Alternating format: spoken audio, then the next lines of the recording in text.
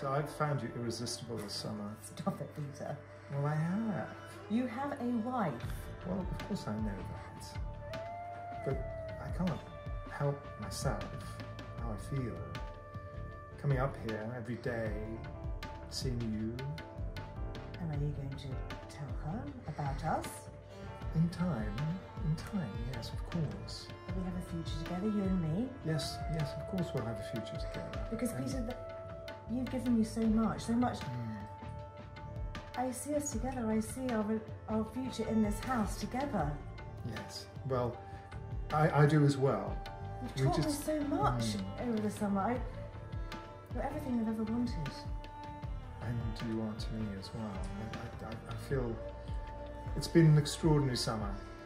And, and the future, who knows what can happen in the future. It's, it's incredible.